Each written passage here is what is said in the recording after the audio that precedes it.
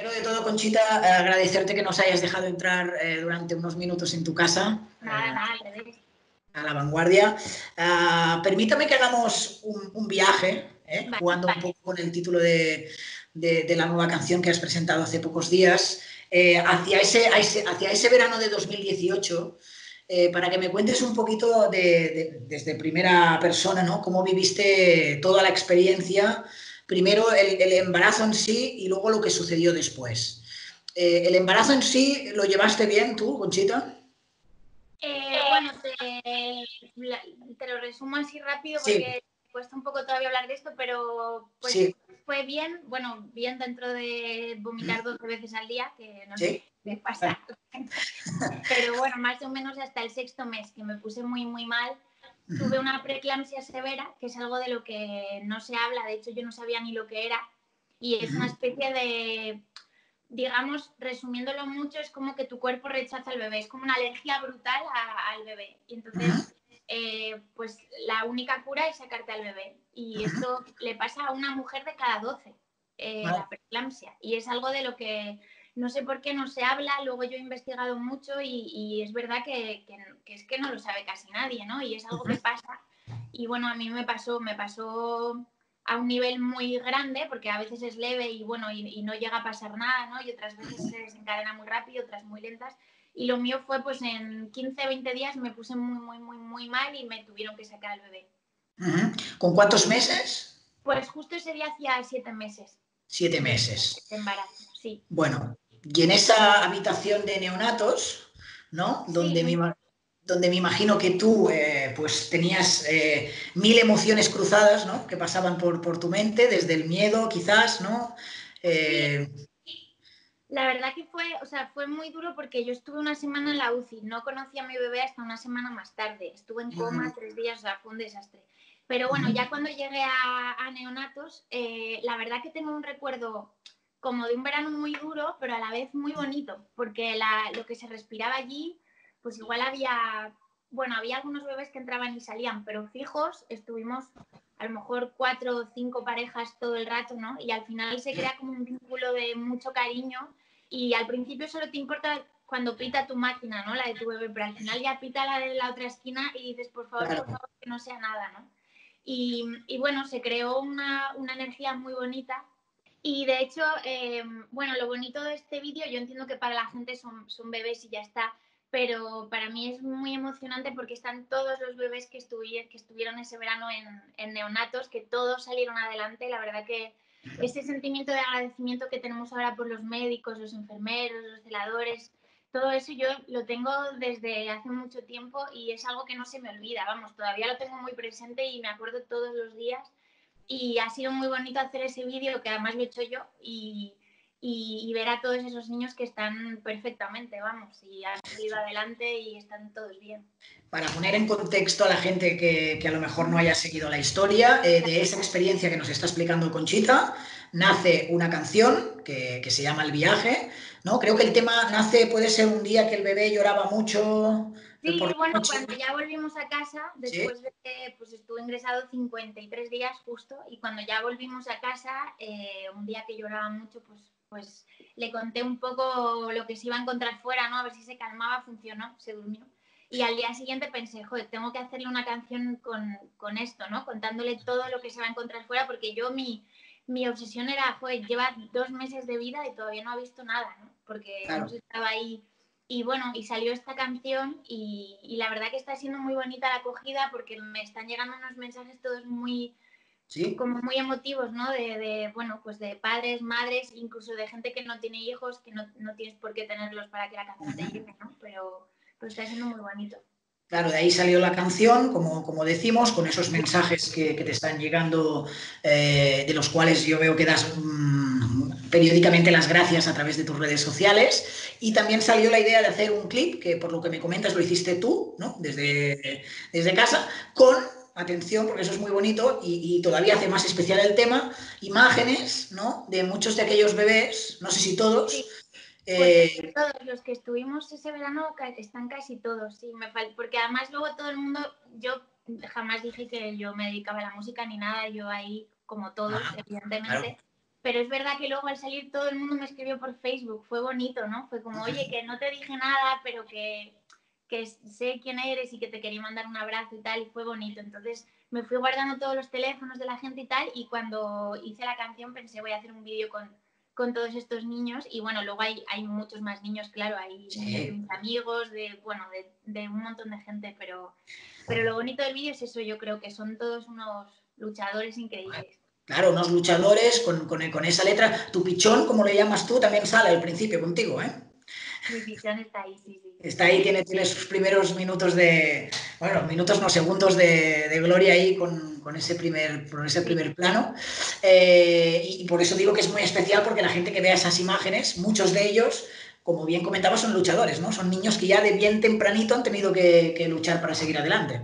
Sí, totalmente. La verdad es que se habla poco de, de, todo eso, de, de, pues que a veces los embarazos se complican, que a veces las cosas se ponen feas. Y ahora estoy recibiendo muchísimos mensajes de gente que, que realmente pues que no le fue muy bien, ¿no? Y es que estamos ahora en una época que todo es maravilloso y, todo es bonito y todo es de color de rosa con lazos en Instagram y, y, todo el mundo es guapo y todo el mundo es genial y a veces pues no es así, ¿no? Claro. Se ponen complicadas y también hay que contarlo, porque yo, por ejemplo, no sabía que existía la preeclampsia, ¿no? era una palabra que es que no, no la había escuchado en mi vida, también hay que contar las cosas como, como son y como vienen. Claro, fíjate a la, preocupación que ya puede tener cualquier persona que va a ser padre de si va a ser buen padre, ¿no? De cosas que dices en la canción de, qué futuro va a tener mi hijo, ¿no? Con, las cosas que están sucediendo. Se une también esa preocupación médica. Yo no sé si ya desde un punto de vista médico mm, tu bebé puede hacer una vida completamente normal, ¿sí? O sea, ya te puedes olvidar de... ¿Sí? De hecho, o sea, él estuvo mucho tiempo ingresado y tal, pero porque era siete mesino, pero, pero él realmente la que peligró fui yo ahí. Él, bueno, tuvo que estar ahí y fue duro porque evidentemente, pero bueno, era, eh, nació más o menos ya bien, ¿sabes? Hubo alguna complicación, pero, pero, pero está perfectísimo, vamos. Claro, para, para, para, poner un poco de luz también a cosas negativas, yo entiendo que todo lo que está sucediendo estos días tú ya lo ves desde una perspectiva más relativa, habiendo pasado todo lo que me estás contando, ¿no? Con tu pareja, con, con el niño, con, con, tu propia vida, ¿no? Que corría riesgo. Bueno, yo pienso mucho en la gente que está en la UCI, ¿sabes? Porque yo me acuerdo perfectamente de la sensación y de la, y de la tremenda soledad y eso que a mí me podían venir a ver, eh, había un par de ventanitas por la mañana y por la tarde, un par de horas pero me acuerdo que sí que recuerdo cómo pasaban las horas de, espacio. De hecho, había un reloj que tenía ahí enfrente y, yo pensaba, no lo mires, no lo mires porque, porque es que cada vez que lo miraba decía, pues si me da la sensación que llevo tres horas y han pasado 15 minutos, ¿sabes? Estás ahí tan solo con los médicos entrando y saliendo que me acuerdo mucho de eso y, sobre todo ahora que no pueden recibir visitas, pero bueno, que luego también se ve de otra manera y, los enfermeros la verdad que, suelen ser muy cariñosos y, bueno, y ayudan mucho. Claro, de hecho es algo que comentabas, creo que lo vi en una publicación en, tu Instagram, del agradecimiento hacia los sanitarios, pero ya no solo de ahora, ¿no? De, es decir, que ahora evidentemente el caso es más extremo, pero a veces parece que olvidamos ¿no? el tipo de sanidad que tenemos en este país y, y la de profesionales y héroes y heroínas que afortunadamente están cuidando de nosotros no solo ahora, sino desde hace años. Bueno, todos los días. O sea, todos los días. Todos los días salvan a gente y mira, yo cuando estaba allí te prometo que un día que estaba así viendo ir de un lado al otro eh, y, pensaba, qué vergüenza que yo solo hago canciones. O sea, pensaba eso de verdad, digo, que, que, mal lo he hecho, ¿sabes? Que solo hago canciones y esta gente está aquí salvando vidas y deberían pedirles autógrafos a ellos, no a nosotros, ¿no? Que, que realmente es que salvan vidas. O sea, ¿qué más puedes hacer en tu vida que, salvar una, vida. Es, enorme. Bueno, hay canciones, yo no sé si salvan vidas, pero sí que hay canciones que, ayudan muchísimo a, llevar una vida más, eh, más optimista, más sana, eso seguro. Te lo habrá dicho mucha gente. Sí, sí, sí, sí. Es verdad que la música ayuda mucho, pero bueno, cuando lo vives tan de cerca es como te parece un nada, ¿sabes? Al lado de claro, claro.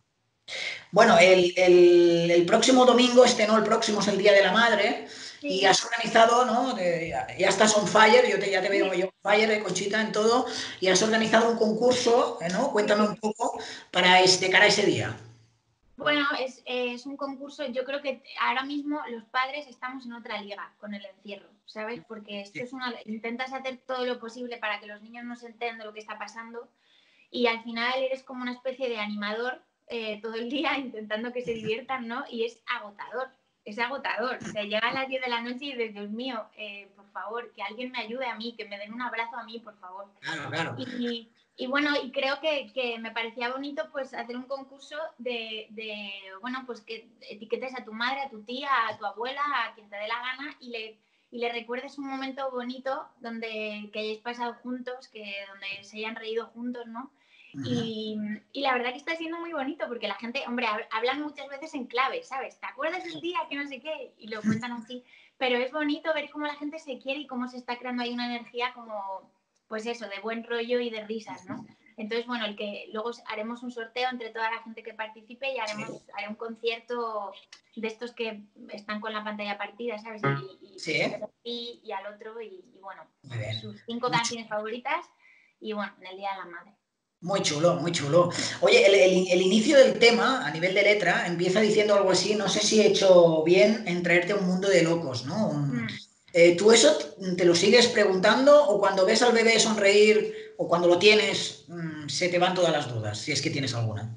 No, tengo mil dudas, millones de dudas y ahora mismo más, ¿sabes? Mm. Porque esto, sí, claro que tienes dudas, yo creo que es algo, algo normal. Yo creo que cuando quieres mucho a alguien o te gusta mucho algo, siempre tienes dudas, ¿no? Es como cuando te vas a subir al escenario y te pones nervioso y te entran ¿no? Como el día que ya no sientes eso, pues yo creo que cuando quieres mucho a un bebé o a, quien seas, como por favor que no le pase nada, ¿no? Y le quieres poner como un, como un escudo y claro que te preguntas un millón de cosas, claro que sí, sobre todo lo quieres hacer bien, ¿no? Que cuando tenga 30 años quiera, quiera venir a tu casa y abrazarte y comer contigo.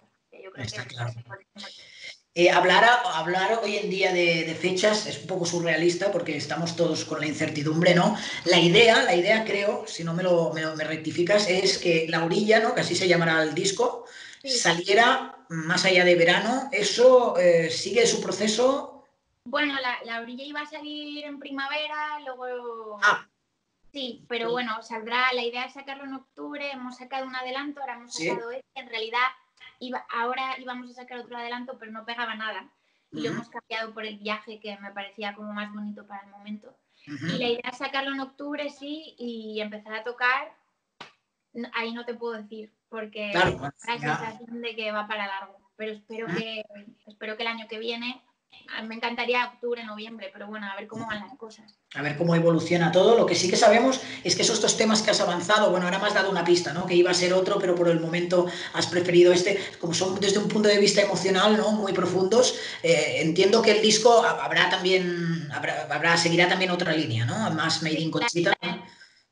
Sí, sí, hay un poco de todo. Hemos sacado primero un camino para volver, que también era un tema como muy intenso, ahora este, pero sí, hay temas más, más divertidos, más para bailar y hay de todo. ah, pues, Jesús, no sé si, eh, no, sé si tienes tiempo con, el pichón, con todo de, hacer cosillas también relacionadas eh, con, la música estos días. Eh, ¿En casa estás planificando? bueno, más o menos sí, o sea, hacemos turnos y, bueno, y poco a poco he hecho, he hecho un par de canciones y, y, sí, algo me da tiempo. Ahora estoy con la promo y bueno, pues nos apañamos, hay que, hay que seguir, o sea que claro que sí. Has compuesto temas, ¿no? También he visto, componías, bueno, no sé si es de antes, la, composición de David y Aitana es, ah, tuya. sí, sí. Sí, bueno, pero eso, eso, eso ya estaba hecho antes. Sí. la letra es mía, sí. Lo digo porque, bueno, dentro de las desventajas, ¿no? Quizás estos días uno puede centrarse más a lo mejor a la hora de componer, de crear, ¿no?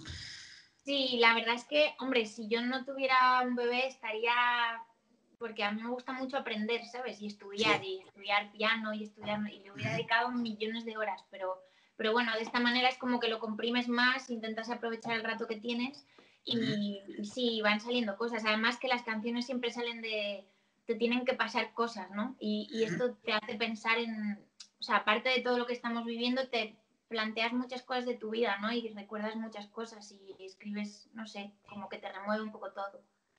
Es, curioso a veces la música, las canciones en concreto, como por mucho que les quieras dar su historia, eh, como el contexto al final eh, acaba poniendo esa canción de actualidad cuando no lo era y otras canciones que a lo mejor hablan de otros temas, la gente se las hace suyas y, y las pasa a los días complicados. Hablo, por ejemplo, de uno de los himnos de, estos días, que, es el Resistiré, en esa nueva versión que vosotros eh, con muchos artistas habéis hecho, ¿no? Eh, una canción de hace tantos años, como se pone de actualidad y cobra tanta importancia para tanta gente. Sí, la verdad que ha sido increíble lo de Resistiré, además que es que se filtró el día anterior y va a ser el día siguiente y fue fue brutal, vamos, ver lo viral que se hizo en un momento, me lo mandó gente de México de repente la noche anterior y, ha sido muy bonito. Es bonito, ¿no? Salir a aplaudir y que la gente lo ponga y, pensar que por lo menos cinco minutos, porque dura cinco minutos, ¿eh? Parece que has alegrado a la gente, ¿no? Unos cinco minutillos. Claro, se hace corta porque salís tanta gente, ¿no? Que es que se hace, cortita. Bueno, el, para ir acabando ya, no te quiero robar mucho tiempo. 28 eh, de mayo tenemos aniversario, ¿no? Eh, hay aniversario. Tenemos aniversario, que además yo tocaba en Barcelona ese día. Y, ah, ya no, no, puede ser. Así que bueno, me, me da un poco de penita, pero bueno, lo haremos más adelante. ¿Hubiera venido Pichón a Barcelona entonces o no? El Pichón está ya, esa hora está muy sopa ya. Está, ya, ya, para allá. Son dos añitos que cumplirá, ¿no? Entiendo. ¿Dos? Dos, añitos. Eh, bueno, esperemos que lo podáis hacer eh, saliendo al parque ya, ¿eh? que creo que esto ya, espero que sí, espero que sí. ya está cerca. Y finalmente ya, bueno, por lo que respeta, entiendo que a, tus temas más de profesionales tenemos eso, ¿no? Como, como presente más inmediato estaría la salida de, de ese disco a poder ser en, verano, por lo que me comentas, otoño, ¿no? Quizás. Octubre por ahí, sí. Octubre por ahí, que es, que es la, orilla. Eh, ¿En qué proceso está el disco? El disco está mm, terminado ya, ¿no? Entiendo, porque si iba a salir ahora por primavera. Sí, el disco está terminado y terminadísimo, vamos. Y, pero bueno, siempre se puede volver a abrir y de repente meter una canción más, ¿sabes? Porque nunca se sabe de repente. Pero sí, en principio está terminado, el arte también está terminado, la portada, o sea, ya teníamos todo, todo. Claro. Yo creo que en octubre sacaremos otro adelanto porque falta mucho todavía. A lo mejor en verano sacamos algo más y ya en octubre sacaremos el disco. Que tengo muchas ganas porque es la primera vez que pasa tanto tiempo y, no saco nada, ¿no? Así claro que eran, eran, que eran tres, tres, cuatro años, ¿no? Del disco anterior, Incendios, tres. Pues sí, ya hace más de tres años. Y yo normalmente saco cada dos o así y esta vez he tardado un poco más y ahora con esto pues todavía más. Que, también es una bomba de relojería a los poco pacientes como yo, ¿no? Cuando tienes ya la, cosa hecha, que lo que estás deseando es que la gente cuanto antes lo escuche para que dé sus opiniones y que, y que digas, ahora vamos a tener que esperar un poco más. Sí, bueno, pero o sea, esto es tan grande, ¿no? Que al final todo mm. pasa a un segundo plano o a un quinto plano, ¿no? Ahora mismo lo importante es que todo el mundo esté bien, que todo el mundo tenga salud y que salgamos de esta de todas las maneras, económicamente también y, que todo el mundo, bueno, que, que, todo el mundo se encuentre bien, ¿no? Que ya hay muchas familias que, que, bueno, que esta cosa asquerosa se ha llevado a alguien, ¿no? Entonces, bueno, la música al final es música, o sea que se puede esperar un poco. ¿Tú tienes la sensación, y con esto acabo, de que este tema es hasta ahora el que ha recibido un feedback emocional más, más potente? Pues mira, yo pensé que cuando saqué un camino para volver pensaba que, iba a ser como el más emotivo, pero esto está siendo mucho más. Yo creo que también el otro tema hablaba de, bueno, hablaba, se le dice a un amigo que, murió y también es un tema que, igual a la gente le, le cuesta un poco más, ¿no? Hablar de eso pero, pero sí, tengo la sensación, por lo menos todos los mensajes que me llegan, y hombre, no es lo mismo hablar de un desamor que hablar de una sensación tan bonita, ¿no? Como, como pues, quererle regalarle un viaje a alguien, ¿no? Darle un, pasaporte y decirle, toma, que seas feliz. Yo creo que, que eso llega, llega de otra manera, por lo menos la sensación que estoy teniendo. Bueno, pues eh, quería agradecerte, Conchita, tu, tiempo con, la vanguardia y sobre todo tu sinceridad, porque entiendo que, son temas complicados, son temas personales ¿no? y que forman parte de vuestra intimidad, así que muchas gracias por compartirlo con, nosotros. Eh, y espero que cuando saques el disco eh, ya podamos vernos en pantallas, abrazarnos, esos pequeños gestos que, que ahora no le damos más importancia, espero, ¿no?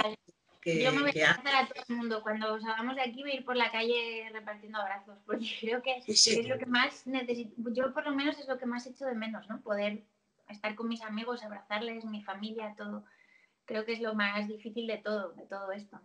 Sí, sí, mira, esto me lo decía ayer Miki. Miki Núñez me decía, yo ya con lo besucón que soy de, serie, me voy a volver el triple de, de, besucón. Bueno, que sirvan las crisis, que sirvan para algo, ¿no? Eh, pues positivo. Pues Conchita, gracias por, tu tiempo. Estaremos atentos al lanzamiento de ese disco, La Orilla. Y nada, que la gente que quiera y puede participar en ese concurso que has propuesto de cara al 3 de mayo, es eh, domingo este, no el próximo, es decir, Día de la Madre. Y, que tengas mucha, mucha suerte y en todo lo que hagas. Vale, muchas gracias igualmente y te mando un abrazo. A ver si nos vemos fuera. Seguro, seguro. Un besito. Hasta luego. Un abrazo, Conchita.